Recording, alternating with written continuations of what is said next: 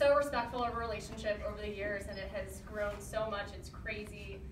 I'm like, how did we get here? Like, oh my gosh, Jeff from high school, we were on the same bus. she didn't know about. but um, no, what's what's really amazing is not only have we found this love in each other, we found it in each other's my gosh, family and friends, and it's really special.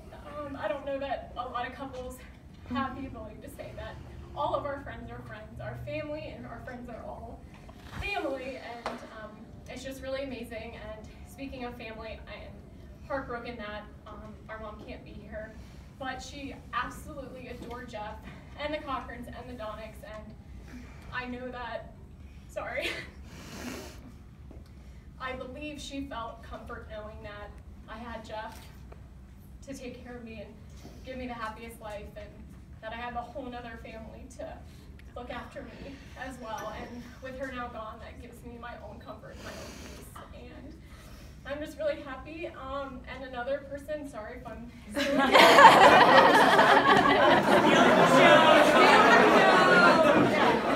I thought I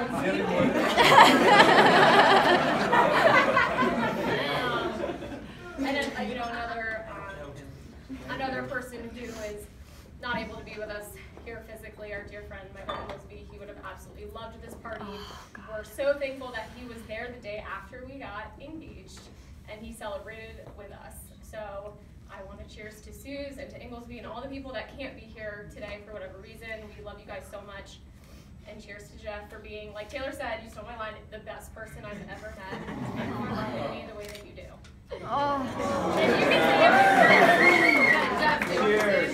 I guess I'll say something. I'm glad that I went first.